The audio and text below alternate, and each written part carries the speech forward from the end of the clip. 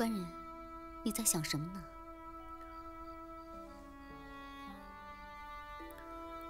凤娟，我看你平日一个人操持家务太辛苦了，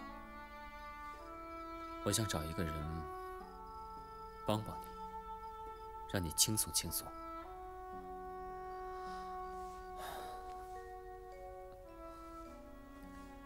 俗话说，好官手下兵多，好男家中妻多。我虽不是什么俊杰，也算得上是人物啊。你是不是有看中的姑娘了？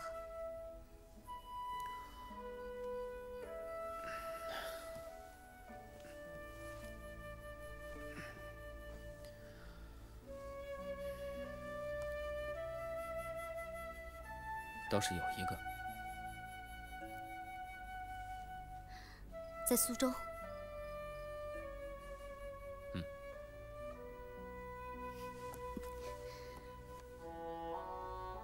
我自从嫁到你家，孝婆如母，敬夫如君，严守妇道，勤持家务，我没有一点对不住你。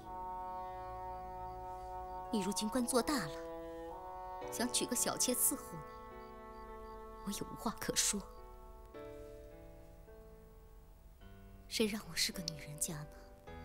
只有这个命。凤娟，再娶一个，你当她姐姐，她是你妹妹，我会对你更好的，她也会敬重你的。咱们这一家人啊，日子会更好过，不好吗？你去问你娘，她同意，你就娶。你放心，小妾进了门，我会知趣的，不会闹得大家不开心。凤娟，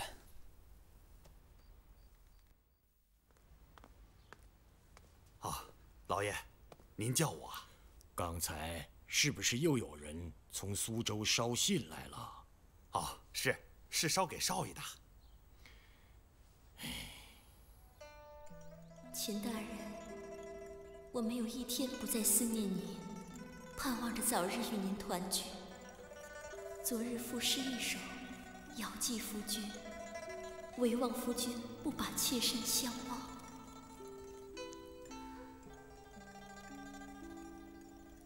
英台寒冬思不弃，愿为此意指同林。天长地久有时尽，此恨绵绵。无绝期，沉吟不敢怨春风，自叹荣华暗消歇。妾愿夫君勤用意，早移花树向阳栽。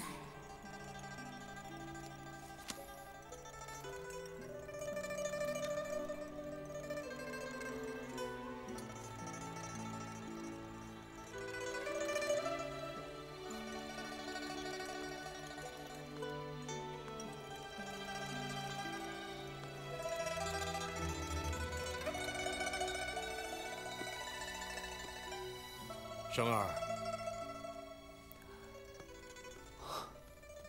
爹，你这是怎么了？没怎么。是不是因为苏州那个女子啊？您知道了？哎，我问你，你们是在哪儿认识的？谁人介绍的？偶尔相遇。没有人介绍。你要说实话，是不是蔡玄介绍的？没有，跟他没有关系。哎，我告诉你，不许你与他有任何的关系和来往。这个人我认识，绝非是良善之辈。到底和他有没有关系？没有。不过苏州还是要去一趟。你不能去，尤其是这个时候。爹，我的事你就别再过问了。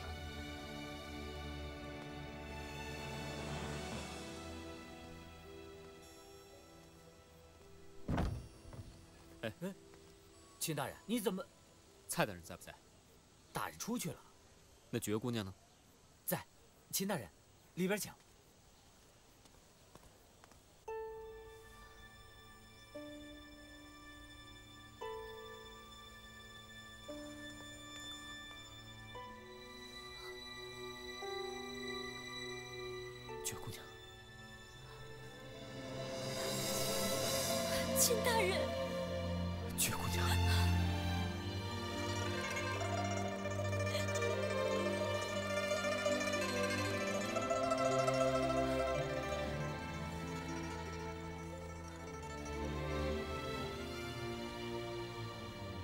你受了许多呀，你不该这样的，不该这样的。自从秦大人走了之后，妾身茶不思，饭不想，不知为什么，心里想的全是秦大人。别哭了，你看我这不是来了吗？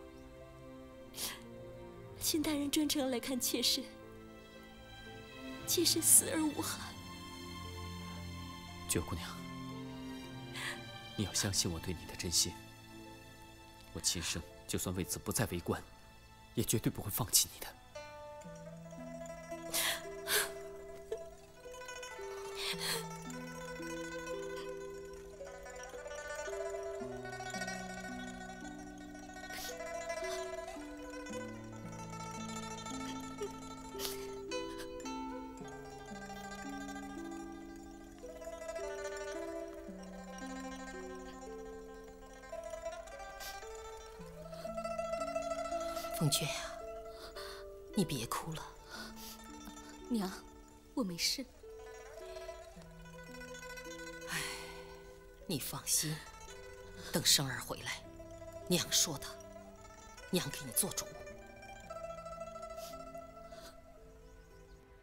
朕还要到太仓、昆山一带视察。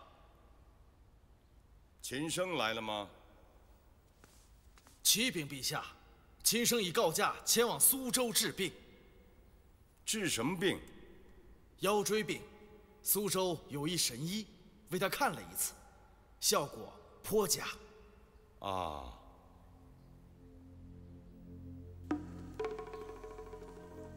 秦升刚从苏州回来，又再度赶往苏州，你不觉得有点怪吗？他不是去看病吗？看个病把大夫直接接来就行了，干嘛自个儿再跑一趟呢？父皇，您是怀疑秦升吗？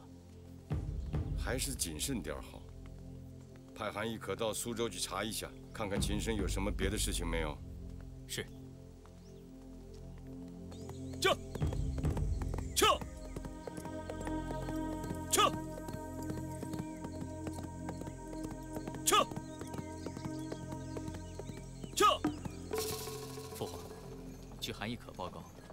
秦生去苏州是去看望一位叫蔡珏的女人。那是什么人呢？她是蔡玄的侄女，住在蔡家。据说，蔡玄已将蔡珏许配给秦生为妾。好大的胆子啊！这是在秦生视察苏州期间发生的吗？正是。不过，仅仅如此，还不至于判定秦升和蔡玄之间还有另外的瓜葛。但是蔡玄怎么会平白无故的把一个侄女送给秦升呢？儿臣认为，以秦升在兖州的表现，还不至于到苏州数日就被人拖下水吧。朕也是这么想。秦升回来之后替蔡玄讲了不少好话，但没提到这件事，这怎么能让人放心呢？这倒也是。改到苏州。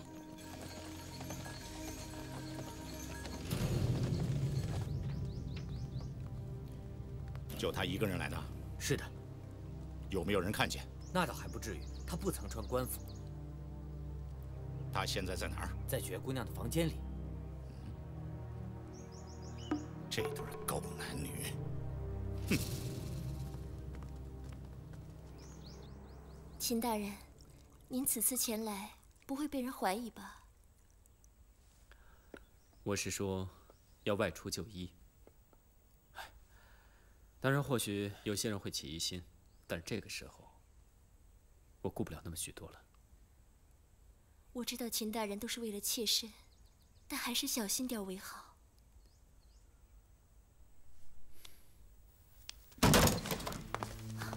叔叔，秦大人，你做事太不严谨了，引来了很大的麻烦。怎么了？陛下视察太仓昆山，突然绕到苏州，我马上要去城外迎接。蔡大人，是不是陛下听到了些什么？现在还不知道。不过皇帝陛下突然改变行程，像去兖州一样，难道这里没有原因吗？不用惊慌，我马上就走。你认为还来得及吗？那你说怎么办？谢大人，我们现在可是一条船上的人了。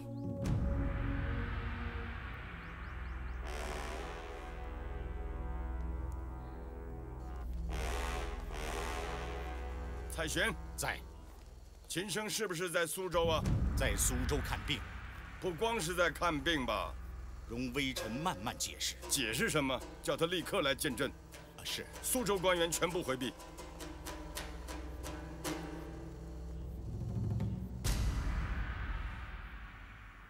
是蔡玄介绍你们俩认识的吧？是微臣在蔡玄家遇见的。所以你跟蔡玄就结为同党了？不，陛下。微臣不敢因私废公，而且蔡玄也不愿意成就此事。微臣在苏州期间，一切严格从事，不敢有丝毫懈怠。这一点，张子宫和王林可以为微臣作证啊。你身为钦差，跟地方官员的亲属勾结私情，这样你怎么还能够秉公执法呢？微臣知罪，但微臣确实不曾因私废公啊。而且在苏州期间，微臣也没有发现有任何的府衙官员在赈灾之中有过任何的营私舞弊和贪污的现象啊。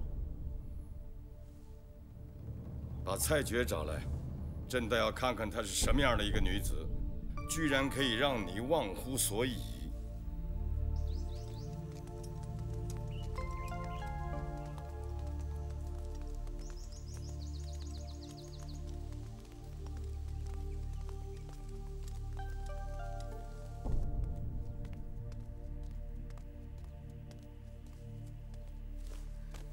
叩见皇上。抬起头来。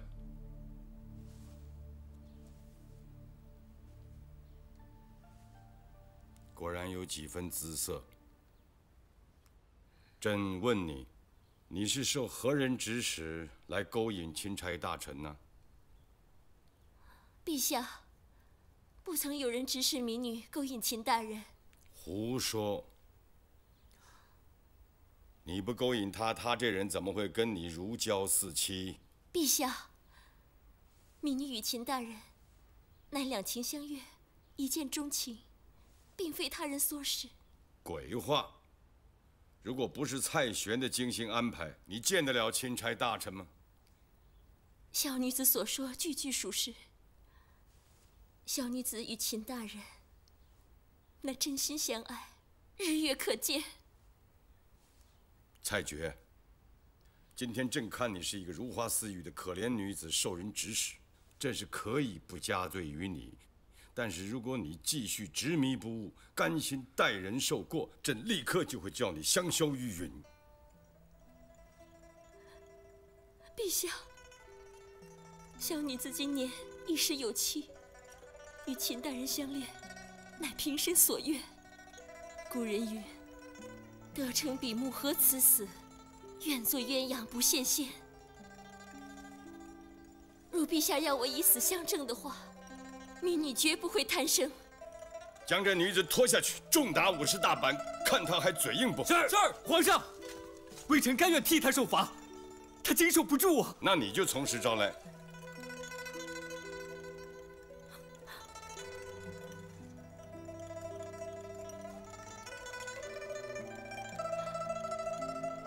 秦大人，奴婢如今只有一事相求，秦大人保重身体，日后好自为之。绝姑娘，是我害了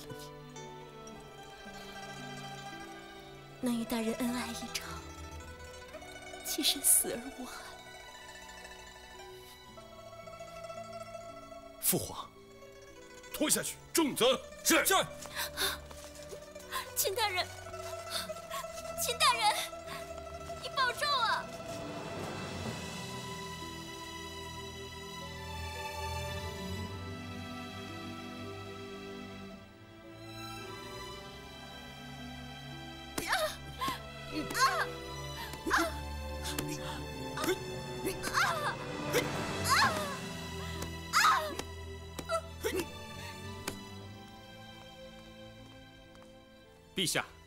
蔡珏已昏死过去，还只打了三十大板，还是不肯招。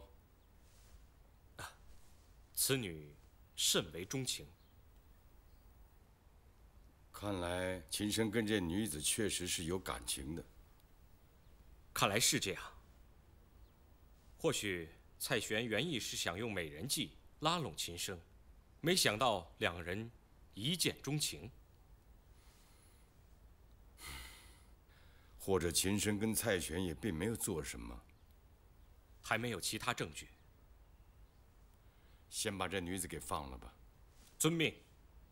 韩亦可在。你觉得秦升有罪吗？现在尚不得而知。不过给秦升看病的大夫也是蔡玄找来的。蔡玄既治好了秦升的腰病，又帮他得到了蔡珏，秦升难道会与他过不去吗？你不必再讲了，这个案子朕是一定要查到底的。如果秦升是冤枉的，朕就还他清白；如果秦升在这短短的十几天里面就被蔡玄拉下水了，那朕倒要看看蔡玄到底有多厉害。圣上英明，立即派人重新审核苏州赈灾的详细情况。遵命。将秦升。蔡玄、梁茂全押往京城，连同张子恭、王陵一并交与大理寺细细甄别，在苏州同时审问相关人等，不得懈怠。遵命。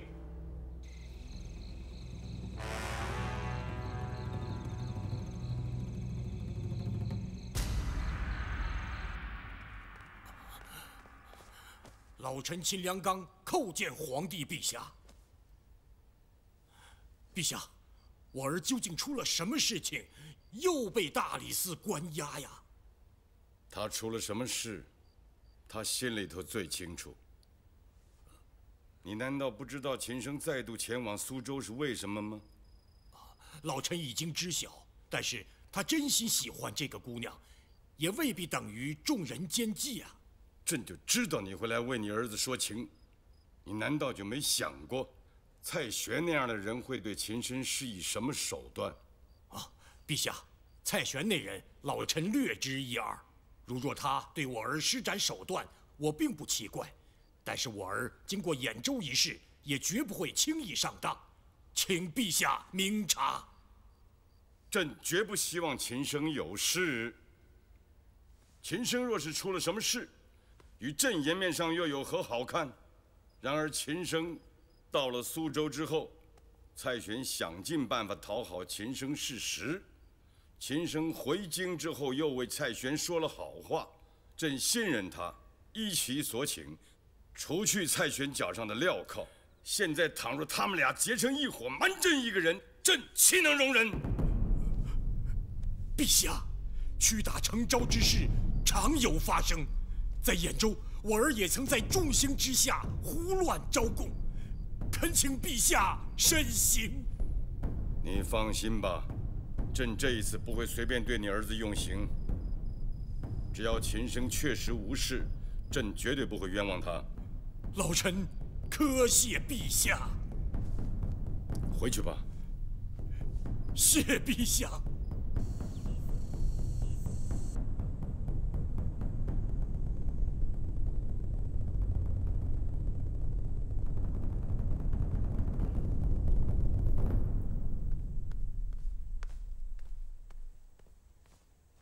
陛下，苏州方面有了消息。哦，蔡玄家的一个家丁供认，蔡玄曾送给秦升一幅古画，价值达千两黄金。真有此事？证人已经带到。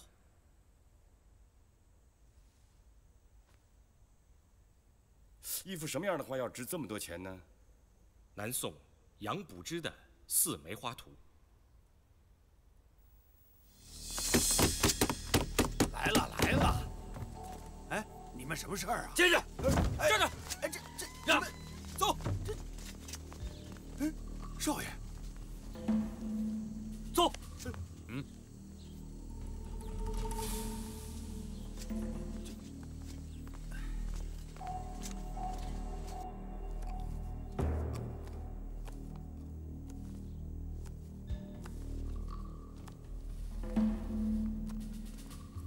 就是这幅，生儿，爹，怎么回事啊？没事你别着急啊。生儿，你没做错事吧？没有，娘，凤娟，别替我担心。秦大人，请吧。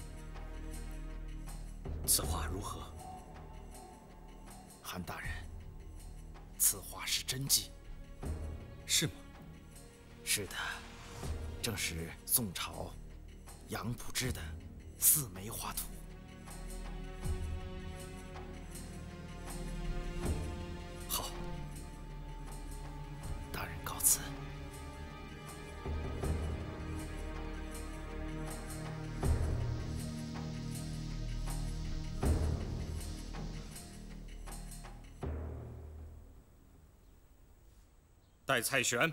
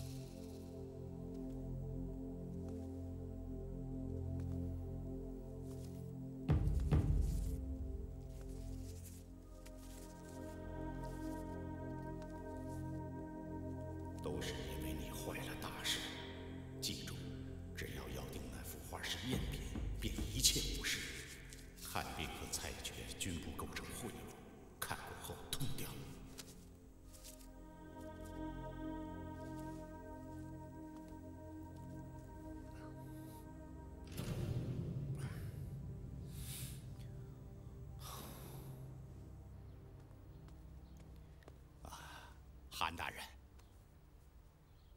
好，蔡玄，你看这幅画，可否是你送与秦生的？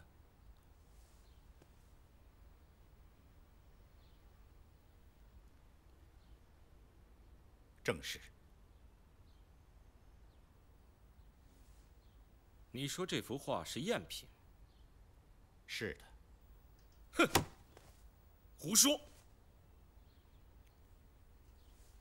此画经过鉴定，已证明是真迹，你故意说成是赝品，居心何在？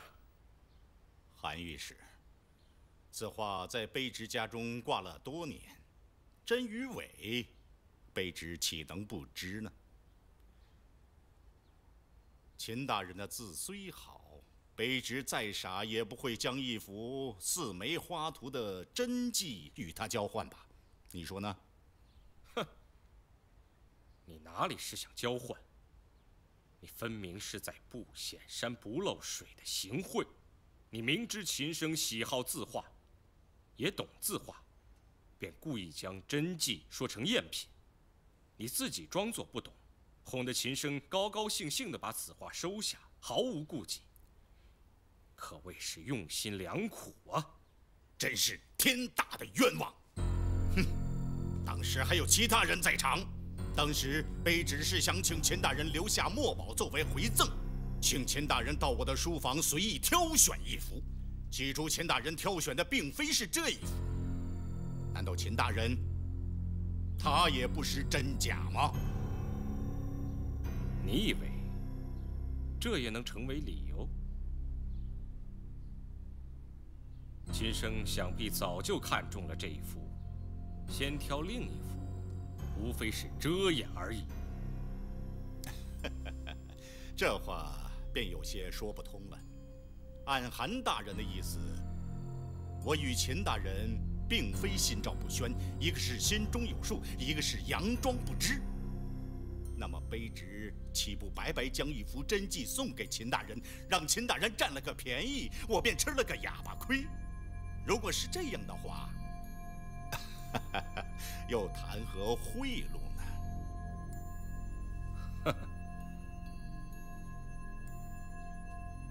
你当然不会白白给他。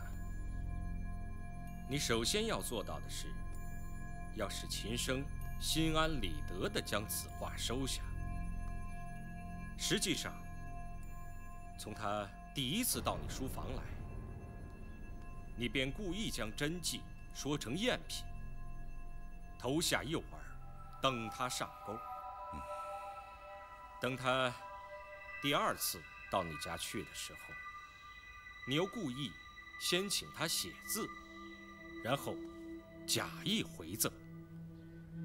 他以为你始终不知四梅花图为真品，贪心所致，最终选择了这幅。本官审理过无数行贿受贿的案件，还从没有见过像你这样阴险狡诈之人。你事前肯定对秦生的情况做过调查，了解其特点爱好，精心设计。引他入套，秦生受贿，与其说是意志不坚，倒不如说是你抓住了他的弱点。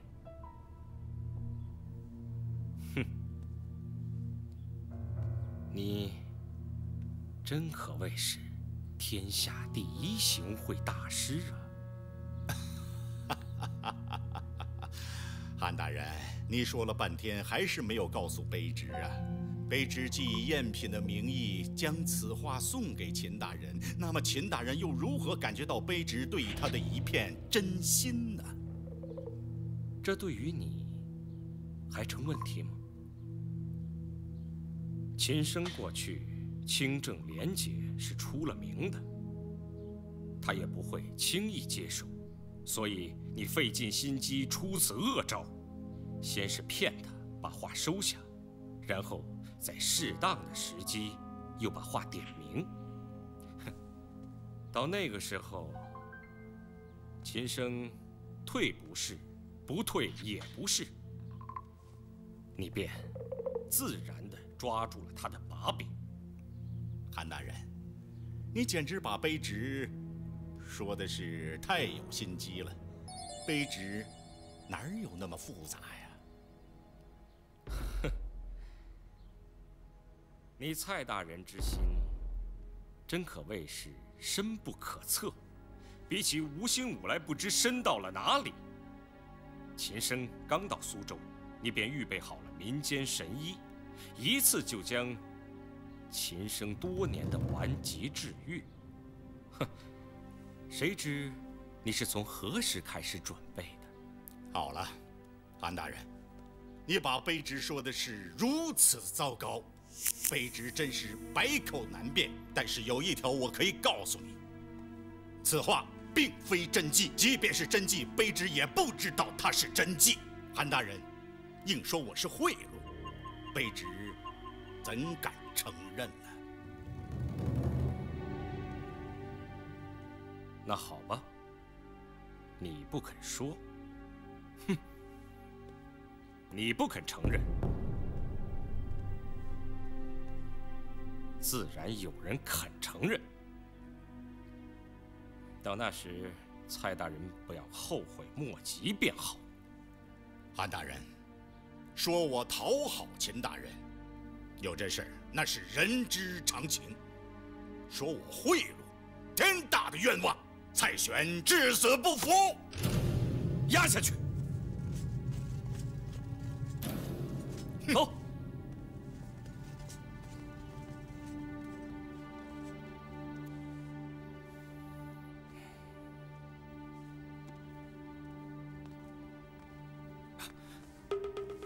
陛下，您何时到此的？朕一直在听。这只老狐狸是不会轻易开口的。卑职以为，还是先要让秦升开口。把秦升带来，朕要亲自审问他。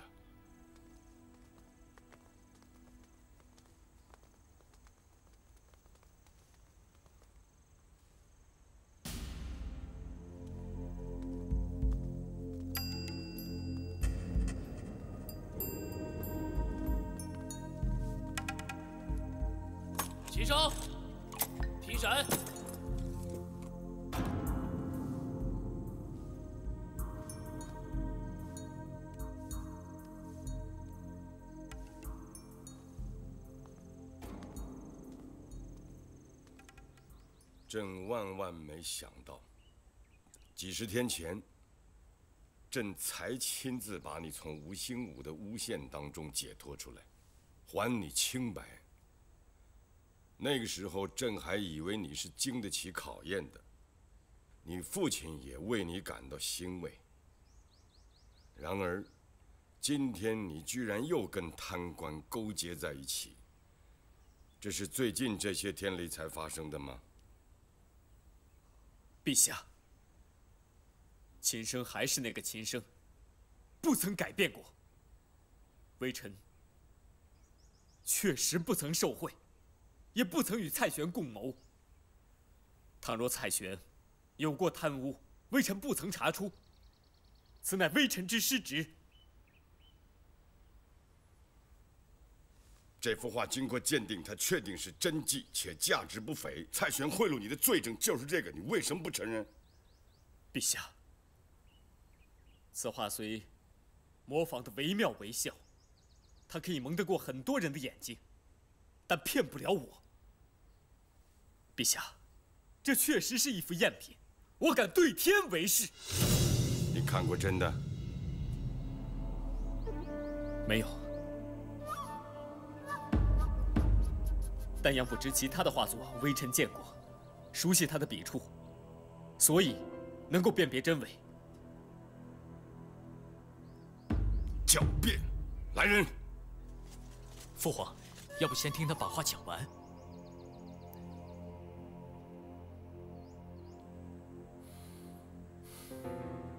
你马上指出来这幅画什么地方让你觉得它是赝品？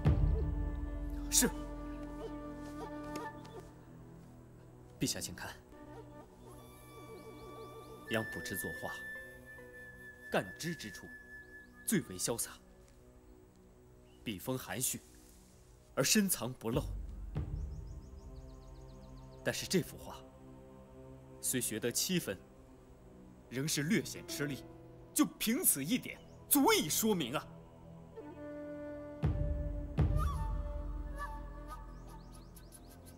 陛下微臣敢对天发誓，此乃赝品。倘若微臣有半句假话，天诛地灭。看来，你对杨卜之的画深有研究。微臣不敢自诩，但辨别真伪，尚有把握。你不要以为朕不懂画，朕就找不到懂画之人。陛下，微臣万万不敢犯欺君犯上之罪。微臣蒙受皇上恩宠，赐为钦差大臣，唯愿呕心沥血，竭尽全力，以示报效，又怎敢贪恋珍奇，一身是法？之前在兖州，吴兴武反复行贿，都被微臣拒之门外，岂有那么容易受蔡玄之重礼？正如陛下所说。数十天之内，怎会有如此翻天覆地、判若两人之变化？陛下，蔡玄是一个诡计多端、善于投人所好的人。你虽然知书达理，但是难免贪欲未泯。你只要稍微露出一点破绽，就会让蔡玄有可乘之机。难道他后来就没有跟你道出过什么真假，提出过什么要挟吗？没有，绝无此事。化作真伪，我自有把握，万万不敢授人以柄啊！来人，在，押下去。是是，走。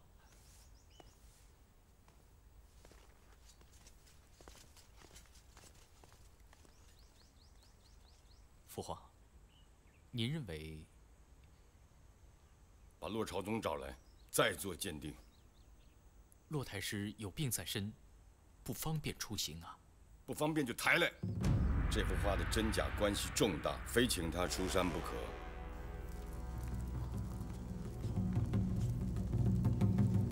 慢点啊，把骆太师抬好了。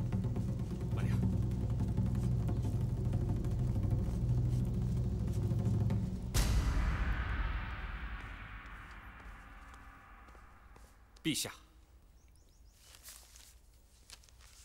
啊，哈，太师已经仔细看过四梅花图，如何呀？果然如秦生所说，此画为赝品。哦，骆朝宗的解释也与秦生大致相同。他非常肯定吗？十分肯定。他还说此画仿得非常好，如果没有见过真迹。那是很难鉴定的。如此看来，秦生就未必受贿了。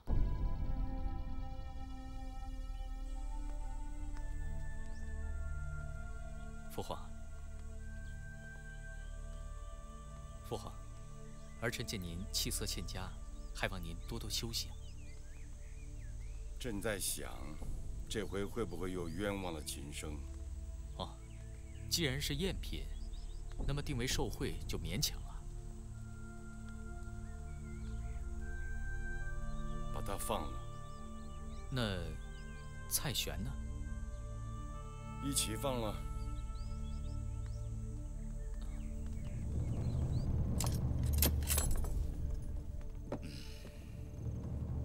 蔡大人，贺喜贺喜！我早就说过，不出三日，我准出去。蔡大人，你厉害厉害！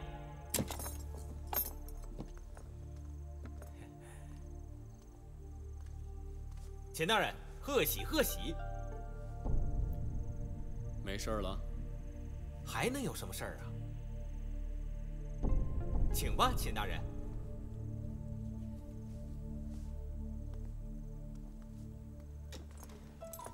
钱大人，钱大人。钱大人，让您受这么大的委屈，卑职真的不好意思。没什么，都过去了。是啊，是啊，卑职欢迎您再次来苏州啊。我要去的。